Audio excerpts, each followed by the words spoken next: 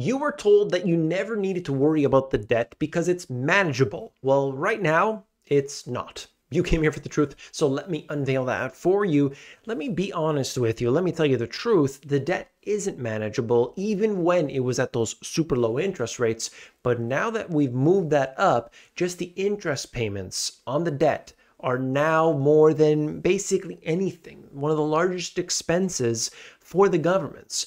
And you are looking at this becoming mathematically impossible to pay back, except, except if you pay much, much higher taxes and they cut your services down considerably.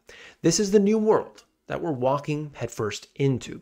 Today, we're going to talk about that debt. We're going to look at what central banks have been doing, and I'm going to show you why we are in for a rude awakening this year in 2024. So I want to begin by taking a look at the US national debt topping 34 trillion for the first time in history.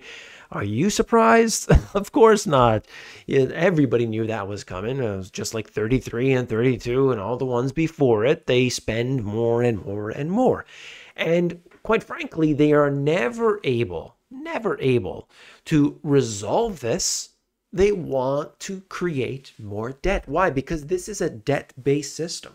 We don't have a real system, a financial system that is strong, that is there to support people, to support the middle class. That's not how it works. They want to create a divide in between the rich and the poor. And I will tell you how that works today.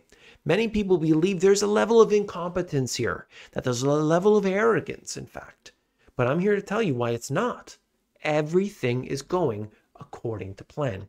I have read the history all the way back to the great inflation of Athens and every single situation since. Now, let's look at this. You could see it. How central banks save the world and will again. Ah, that's right. That's right. They save the world. In fact, this reminds me a lot of, if you remember, Ben Bernanke had his face real big on the front cover of the Atlantic, and it said hero. That's right, hero uh, for devaluing the currency. You see, that's what they think of central bankers. And certainly most investors do agree. They believe that they save the world and they love their actions. Back in 2008, leading into 2009, if you remember, I mean, I, I remember vividly, and I've also seen the videos many times since, where you would have people in the US Congress saying, Excuse me, Fed, what are you trying to do? You're printing money and you're buying this stuff? What are you going to do with it? Where's it going to go? How's this all going to work? You better have an answer for us. What's going on? How much money are you spending? What are you doing to the currency? And now today, please, please, Federal Reserve, please help us out. Things have really changed in this short period of time. You see, something drastically occurred during this time frame in which we went from Federal Reserve, you better stay right there, okay? We understand you want to help, but hold on a second. You can't just do whatever you want.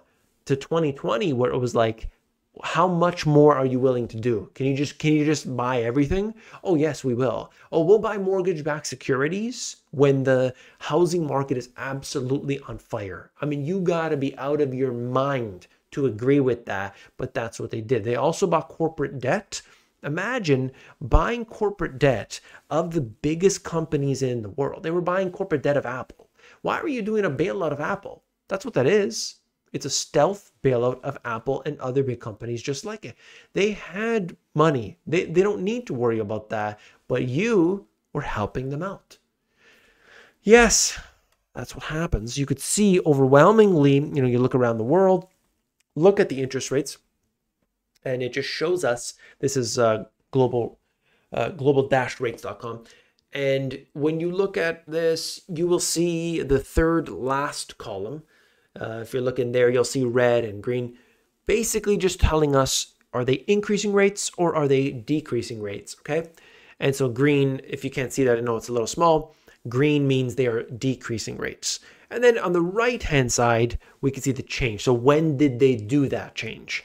And generally, it depends on where you look, but generally we are seeing globally the rate cuts are starting to come. That's what we are seeing. Now, obviously, the Federal Reserve being the most important, no, no matter where you are, it is very interesting to just see how these central banks on the newer cuts, they've started to go, you know, on the newer actions, I should say, have started to go into cutting. Also, they are trying to stimulate as opposed to necessarily, you know, try to constrict and tighten. Because why? Because there had been inflation. Okay, so they started to increase their interest rates. They started to tighten up. Let's get serious. Let's get, you know, this under control. But now the economies have started to weaken. And so they say, what do we got to do? Let's get that stimulus to happen.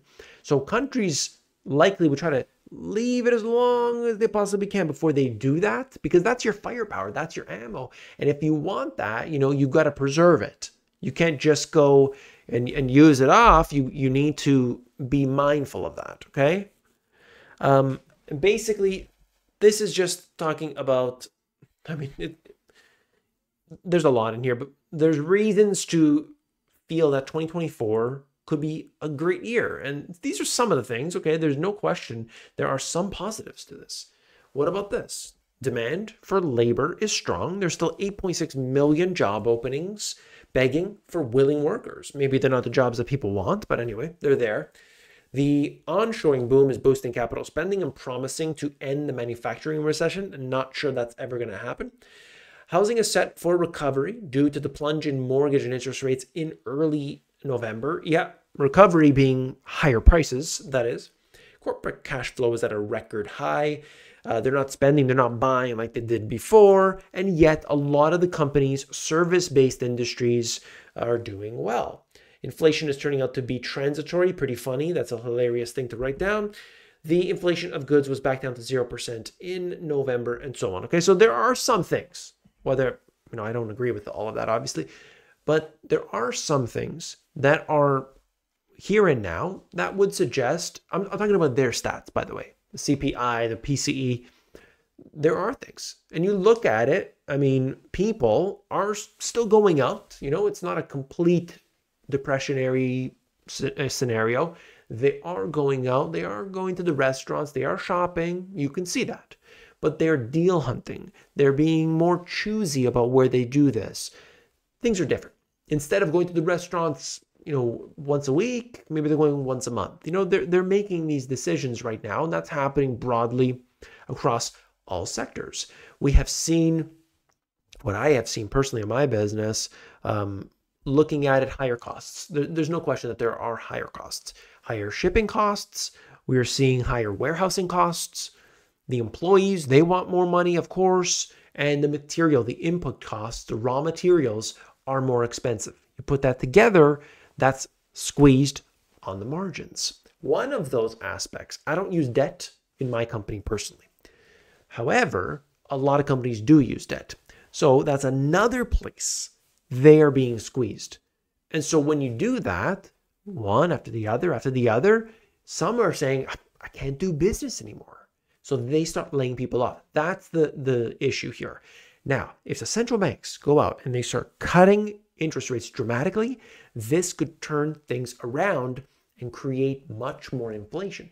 Like, I don't know if it's going to show up in the CPI. I really don't know. That's such a manipulated stat. However, I do know that this creates price inflation as a result of easier monetary policies. We've seen it so many times before. I don't need to prove that to you because I know it. Some would actually argue that printing money the way that they do, quantitative easing, actually creates deflation. Now, for those people, whatever it is, what whatever um, you know drug you're doing or whatever, I'd be interested to know what it is. I want to study it. I want to see the effects on the brain, and uh, I'd be interested to know more about that. Okay, um, the Fed will set the pace for markets more than ever this year. And that is absolutely true because they're watching that. They're paying close attention to that. And the expectation is perhaps March. March will be when they cut rates officially. If not, though, I'm saying this now and we'll see what happens by then, that they might just signal what they plan on doing. Okay. They might not go all the way out, they might just be signaling it. And we'll see. We'll see what happens. But this is very important because they're looking closely, very closely at the Fed, no matter where you are around the world, because a lot of their action then, oh, okay, the Fed did it. Okay, now we can do it. That that was happening a lot um, during this previous cycle. And seeing where we are right now, it looks like, I mean, you could measure interest rates in different ways. We could look at the Fed funds rate, for instance, obviously, but we can look at the bond market. So this is the two year treasury, and you see that it peaked out approximately 5%. So there it was at 5%. People were putting their money in, and it was the same for even shorter term debt. So you were getting really good rates of return on short term debt. And that's really important to note, um, but it has definitely come down. So we'll see, you know, as it fluctuates and so on, uh, where it goes. But that is an important thing because when you get more attractive rates on bonds, money can move into the bonds um, for obvious reasons. You have companies that you know are dealing with that. They've got a higher rates are, are not necessarily a, a bullish thing. So we're going to see how companies respond to it. They've got too much debt. This is a problem. This is a problem overall. Okay.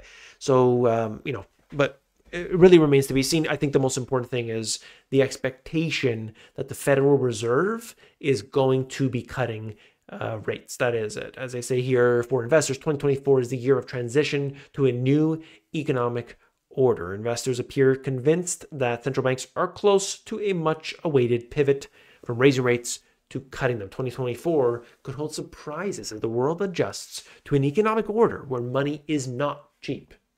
Interesting. I don't know what's going to happen here, but you know how far they are able to go down. I know that they're just going to prolong the cuts, uh, you know, stretch that out. Even if they do, let's say, cut in March, maybe the next one they'll say, "Hey, we're not going to do the next one right away. Let's wait a month." This and that. We're going to wait and see, just to kind of, you know, stretch that out because, as I said, that's your ammo you don't want to use it up all at once unless they got some other plans. I think they want that that cushion because they got the five and a quarter to five and a half percent on the Fed funds rate. And what we learned from the previous time they tried this, it was at approximately two and a half percent. They had very little cushion. And so it hit zero like so rapidly, and that wasn't enough. So they needed to go out there and you know use everything they could. Big problem, big mistake. So now they are having that five and a quarter to five and a half percent. That is a much larger cushion so that they may not need to do so much money printing all right away. Okay. So, what I would love from everybody is if you want to know the truth, well, then you would join me on the small classes that I have, the live classes. I think this is the best way to actually learn and be prepared and take the right actions Yes, you have to invest your time. There's no question about it. Two hours every Friday night. I cover this. The link is in the description if you want to get that. I updated it so that you can come here, you can read all the things that are included with that, included the new GPTs, which helps you be a better investor, smarter investor. That's coming right now. As soon as they make it available to me, I can release it. It's ready to go. Six hours of work that took me. And then I actually included the thing where you can actually check out now. You don't have to email me and all that stuff. However, if you want to, there's a blue button. You could find out more right there. I want to appreciate you. I uh, appreciate you for being here today to listen to me, to see what's going to happen in 2024 as we go through this central bank cycle. You've got to be aware of all this stuff and understand how this affects inflation. It's ready to rock. Let me tell you, okay? Hit that thumbs up button if you support the channel. And of course, don't forget to come back tomorrow because I got the latest and greatest information you definitely want to see. Take care. See you then.